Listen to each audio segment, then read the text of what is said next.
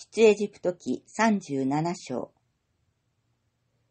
ペツァルエルはアカシア材で一つの箱を作った。長さは2キュピト半、幅は1キュピト半、高さは1キュピト半。その内側と外側を純金でかぶせ、その周りに金の飾り縁を作った。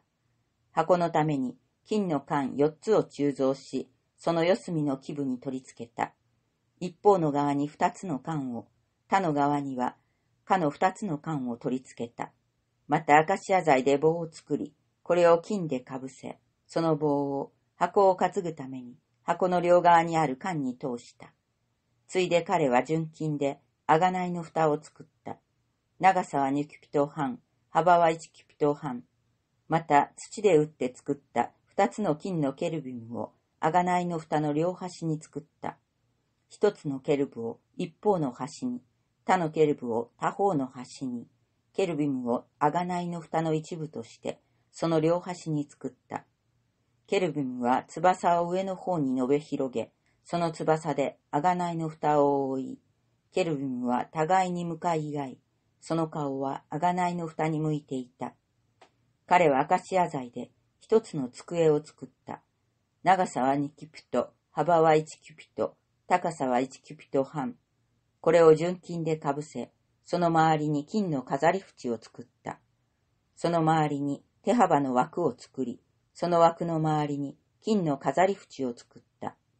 その机のために金の缶四個を鋳造し、その四本の足のところの四隅にその缶を取り付けた。その缶は枠の脇につけ、机を担ぐ棒を入れるところとした。アカシア材で机を担ぐ棒を作り、これを金でかぶせた。さらに、机の上の器、すなわち、注ぎの捧げ物を注ぐための皿や、ひ杓、水差しや瓶を純金で作った。また彼は、純金で食台を作った。その食台は、土で打って作り、その台座と支柱と額と節と花弁とで一個の食台とした。六つの枝をその脇から、すなわち食台の三つの枝を一方の脇から、食台の他の三つの枝を他の脇から出した。一方の一つの枝に、アーモンドの花の形をした節と、花弁のある三つの額を、また他方の一つの枝にも、アーモンドの花の形をした節と花弁のある三つの額をつけた。こうして食台から出る六つの枝を皆そのようにした。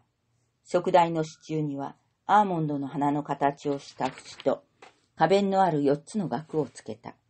それから出る一対の枝の下に一つの節、それから出る次の一対の枝の下に一つの節、それから出るその次の一対の枝の下に一つの節、このように六つの枝が食台から出ていた。それらの節と枝とは食台と一体にし、その全体は一つの純金を打って作った。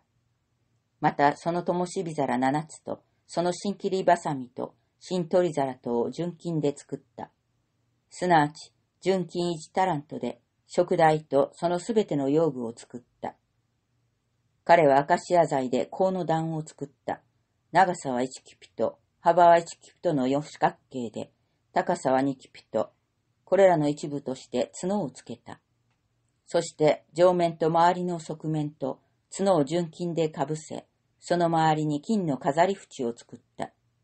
その段のために、その飾り縁の下の両脇に、相対する両側に二つの金管を作った。それは段を担ぐ棒を通すところである。その棒をアカシア材で作り、それに金をかぶせた。彼はまた、調合法に従い、聖なる注ぎの油と純粋な香りの高い香を作った。